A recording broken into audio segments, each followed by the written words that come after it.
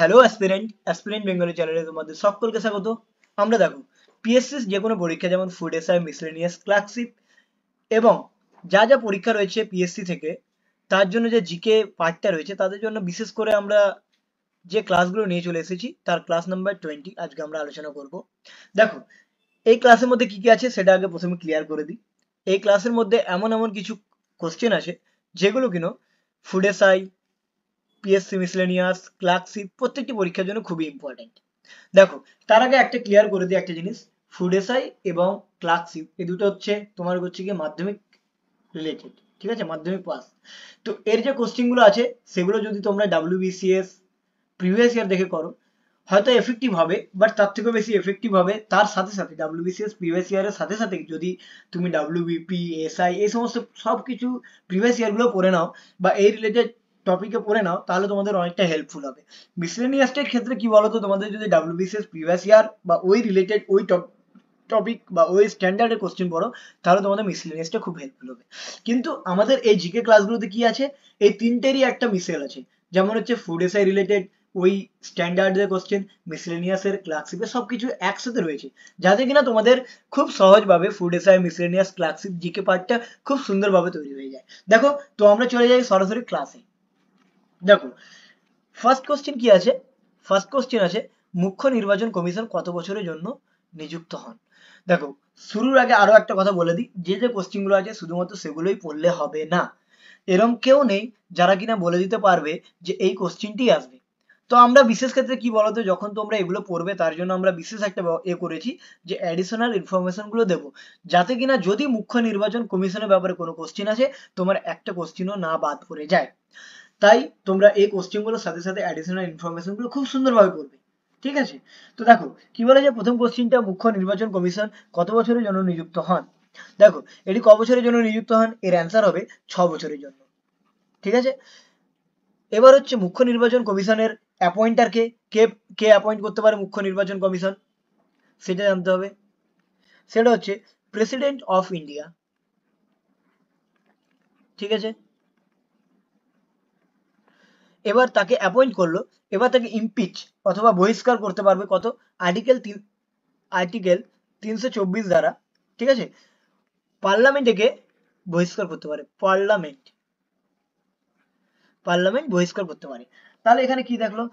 মুখ্য নির্বাচন কমিশন কত বছরের জন্য নিযুক্ত হন? এর অ্যান্সার হলো ছ বছর, ঠিক আছে? একে নিয়োগ করতে কে পারে? প্রেসিডেন্ট অফ ইন্ডিয়া একে বহিষ্কার করতে কে পারে? পার্লামেন্ট কোথায় বলা আছে? আর্টিকেল থ্রি টোয়েন্টি ফোর মানে তিনশো চব্বিশ। এবার আরেকটা জিনিস দেখো। যদি বলে যে কত বছরের জন্য নিযুক্ত হন, ঠিক আছে? তাহলে ছ বছর। যদি বলে কত বছর বয়স পর্যন্ত সে থাকতে পারে মুখ্য নির্বাচন কমিশনার, তাহলে সেটা হবে সিক্সটি ফাইভ ইয়ার তোমরা নিজেরাও বুঝতে পারছ এই অ্যাডিশনাল ইনফরমেশনগুলো কতটা ইম্পর্টেন্ট ঠিক আছে? নেক্সট কোশ্চেন আমরা চলে যাই। কি বলেছে? একটি ট্রাফিক সিগন্যালের দিকে তাকালে উপর থেকে নিচে এই ক্রমে আলো দেখা যায়। একটি, দেখো, রাস্তায় তোমরা ট্রাফিক সিগন্যাল সবাই দেখেছ, যে পোস্টগুলো আছে, এরকম করে লম্বা, ঠিক আছে? এখানে একটা ঘর, এখানে একটা ঘর। এটা ট্রাফিক সিগন্যাল একটা। তো কি বলেছে? উপর থেকে নিচে কোন আলো দেখা যায়, কোন কোন? তাহলে এর অ্যান্সার কি হবে? প্রথমে দেখা যায় লাল, তারপর হলুদ, তারপর সবুজ। তাহলে এটা হচ্ছে সঠিক অ্যান্সার নেক্সট কোশ্চেন আমরা চলে যাই। সিনেমা দেখানোর প্রক্ষেপণ যন্ত্র। প্রক্ষেপণ যন্ত্র মানে হচ্ছে প্রজেক্টার প্রজেক্টারে কি ধরনের লেন্স ব্যবহার করা হয়? দেখো, তোমরা সবাই সিনেমা দেখেছ, ঠিক আছে? তো সিনেমা দেখেছ, এই টপিকটা থেকে কোশ্চেন যদি দিয়ে দেয়, অনেকে হক চকিয়ে যায়। চমকে যাওয়ার কিছু নেই, এটা তোমরা জেনে রাখো সিনেমা দেখানোর জন্য যে প্রজেক্টরটা ইউজ করা হয়, সেখানে কি ধরনের লেন্স ব্যবহার করা হয়, সেটা হচ্ছে উত্তর লেন্স বুঝতে পেরেছ? তাহলে প্রজেক্টারে কি লেন্স থাকে? উত্তর লেন্স নেক্সট কোশ্চেন আমরা চলে যাই। রাজস্ব বিভাগে পাট্টা প্রচলন করেন কে? রাজস্ব বিভাগে পাট্টা প্রচলন করেন কে? কে পাট্টা প্রচলন করেছিলেন? এটি খুবই ইম্পর্টেন্ট একটি কোশ্চেন এর অ্যান্সার হবে শের শাহ ঠিক আছে? এবার দেখো শের শাহ সম্পর্কে আরও এক দুটো অ্যাডিশনাল ইনফরমেশন তোমাদের জেনে নেওয়া দরকার, যেগুলো খুবই ইম্পর্টেন্ট দেখো শের শাহ কি কি শুরু করেছিলেন? কাবুলিয়ত,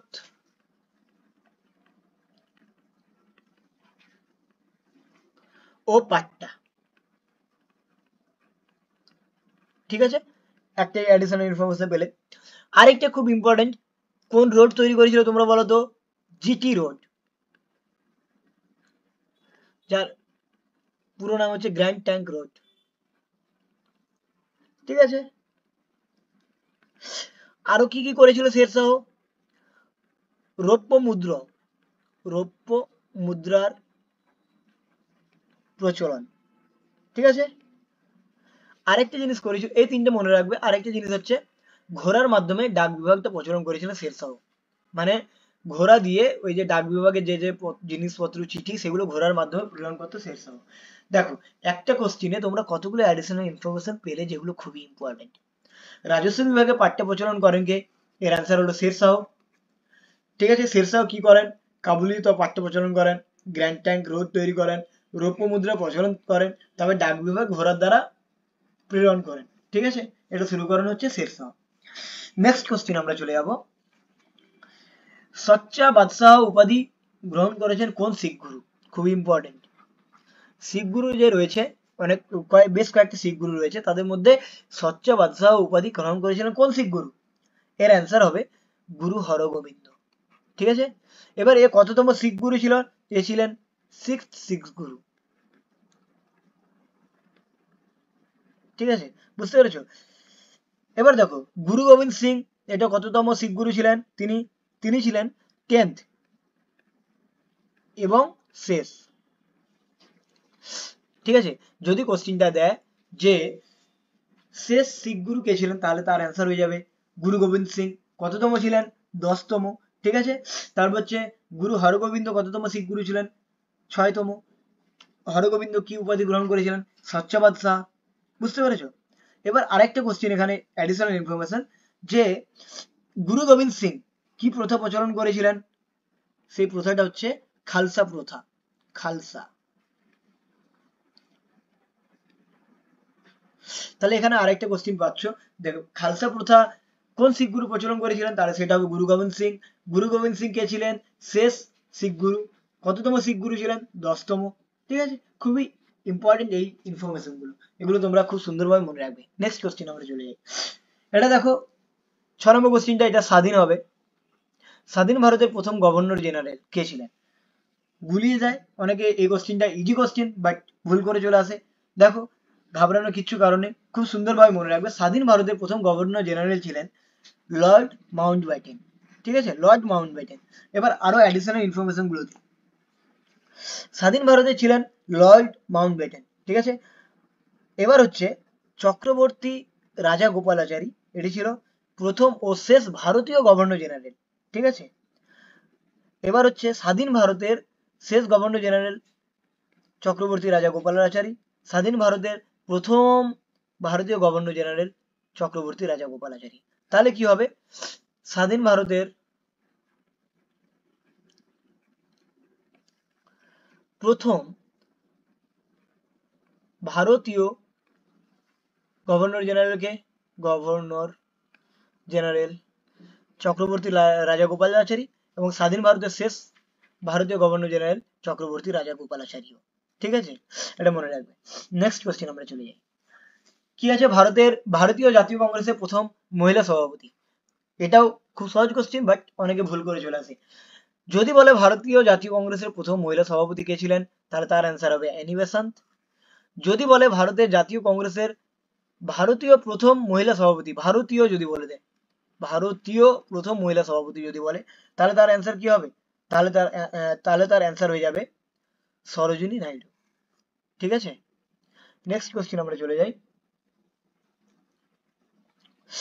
বাংলার বিপ্লবী আন্দোলনে প্রথম নারী শহীদ ছিলেন। বাংলার বিপ্লবী আন্দোলনে প্রথম নারী শহীদ কে ছিলেন?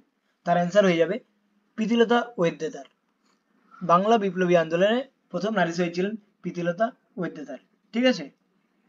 নেক্সট কোশ্চেন আমরা চলে যাব। ভারতে এক্সিম ব্যাংক কাজ করে কিসের জন্য? ভারতে এক্সিম ব্যাংক কাজ করে কিসের জন্য? এর অ্যান্সার হয়ে যাবে ভারতের আমদানি রপ্তানির জন্য। ঠিক আছে? ভারতে আমদানি রপ্তানির জন্য এক্সিম ব্যাংক কাজ করে।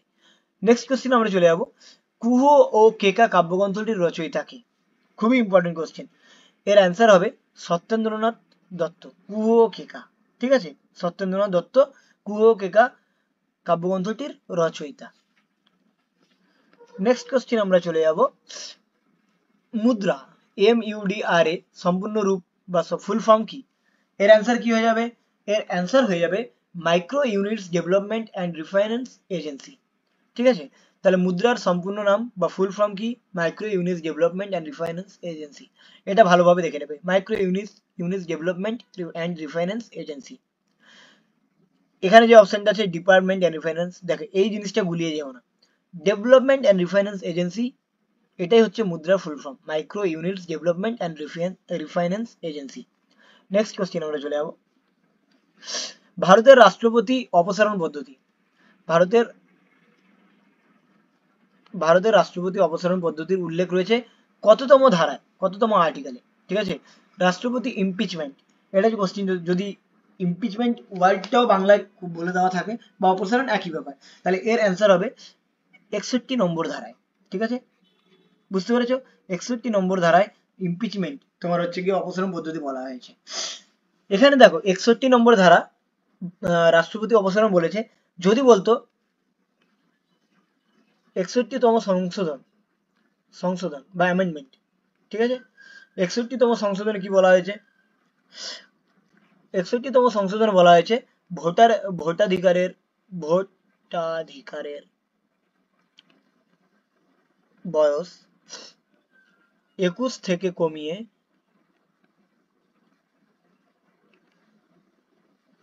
আঠেরো করা হয়েছে। দেখো আর্টিকেল সিক্সটি ওয়ান দ্বারা ভারতের রাষ্ট্রপতি অপসারণ পদ্ধতি উল্লেখ রয়েছে। কিন্তু সিক্সটি ওয়ানতম অ্যামেন্ডমেন্টে কি বলা হয়েছে? ভোটাধিকারের বয়স একুশ থেকে আঠেরো করা হয়েছে। ঠিক আছে? যদি এটা কোশ্চিন চলে আসে যে ভোটাধিকারের বয়স কততম সংশোধনে বলা হয়েছে, তাহলে ওইটা সিক্সটি ওয়ানতম সংশোধনে। ঠিক আছে?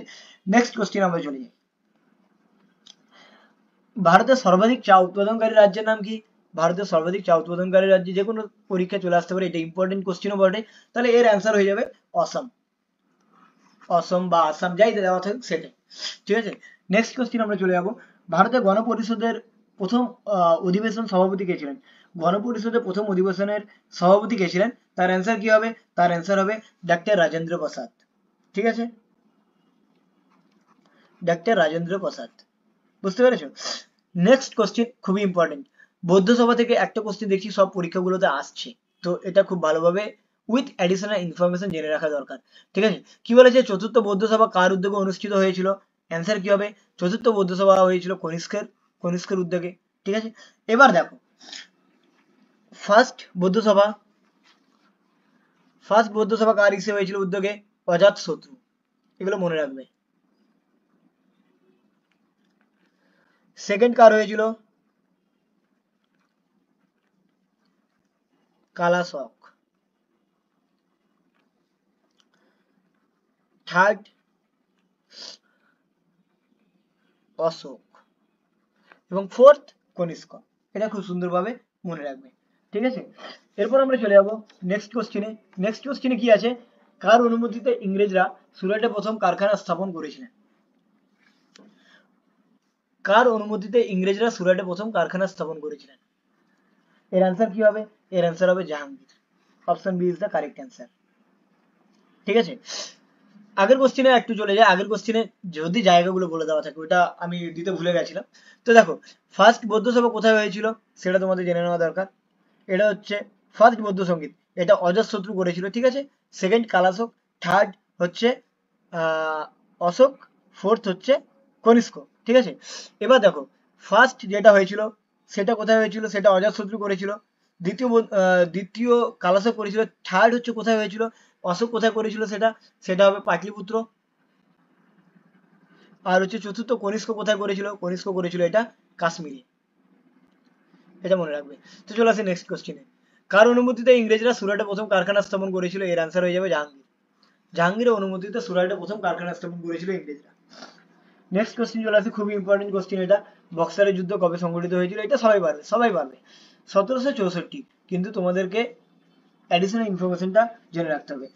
কততে হয়েছিল? বাইশ থেকে তেইশে অক্টোবর, সতেরোশো চৌষট্টি, বক্সারের যুদ্ধ। কাদের কাদের মধ্যে হয়েছিল? একটা হচ্ছে ইস্ট ইন্ডিয়া কোম্পানি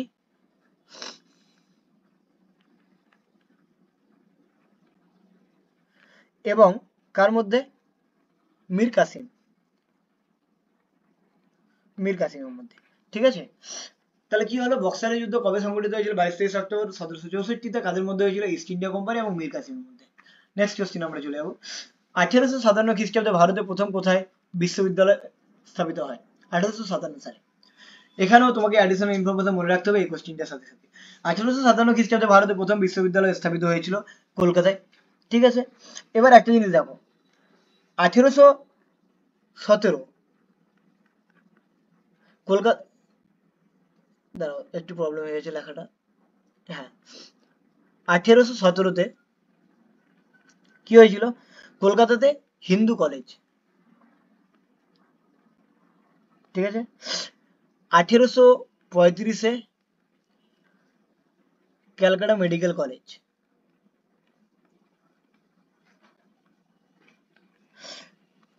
আঠেরোশো সাতান্নতে যেটা হয়েছিল, সেটা হয়েছিল ক্যালকাটা ইউনিভার্সিটি।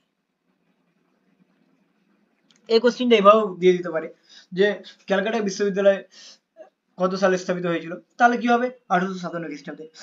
এবার আরেকটা ইনফরমেশন আঠারোশো চব্বিশ সালে সংস্কৃত কলেজ ঠিক আছে? এই ইনফরমেশনগুলো তোমরা খুব সুন্দরভাবে মনে রাখবে। নেক্সট কোশ্চিন আমরা চলে যাব। বেনারস হিন্দু ইউনিভার্সিটি কে স্থাপন করেছিলেন? যদি বেনারস হিন্দু ইউনিভার্সিটি এভাবে বলে বা এভাবে বিএইচইউ দিয়ে দিতে পারে, ঠিক আছে? ঘাবড়ানোর কিছু নেই। এর অ্যান্সার কি হবে? এর অ্যান্সার হবে মদন মোহন মালব্য। মদন মোহন মালব্য বেনারস হিন্দু ইউনিভার্সিটি প্রতিষ্ঠা করেছিলেন। নেক্সট কোশ্চেন কাকরি ষড়যন্ত্র মামলায় কে যুক্ত ছিলেন? কাকরি ষড়যন্ত্র মামলায় কে যুক্ত ছিলেন? এর অ্যান্সার কি হবে? এর অ্যান্সার হবে অপশন ডি আশফাকুল্লাহ এর আরেকটা নাম কি আছে জানো তো? রামপ্রসাদ বিসমিল। রামপ্রসাদ। এটাও অপশনে থাকতে পারে। রামপ্রসাদ বিসমিল। যদি বলে, কাকুরি ষড়যন্ত্র মামলায় কে যুক্ত ছিলেন? যদি তোমার আশফাকুল্লাহ অপশন দেওয়া থাকে, তাহলে খুবই ভালো। আর যদি রামপ্রসাদ বিসমিল দেওয়া থাকে, তাহলে সেটাই। ঠিক আছে? নেক্সট কোশ্চেন আমরা চলে যাব এবার। লাইফ ডিভাইন বইটির রচয়িতা কে? দেখো, বই, বিভিন্ন বই, গ্রন্থ, এখান থেকে তো মিনিমাম একটা কোশ্চেন আসবেই। ঠিক আছে? তাহলে লাইফ ডিভাইন বইটি রচয়িতাকে অরবিন্দ ঘোষ। ঠিক আছে? এবার জওয়াহরলাল নেহরু বেশ কয়েকটি ইম্পর্টেন্ট বই রেখেছিল। তাদের মধ্যে কি কি আছে? যেমন দ্য ডিসকভারি অফ ইন্ডিয়া এটা জেনে রাখো।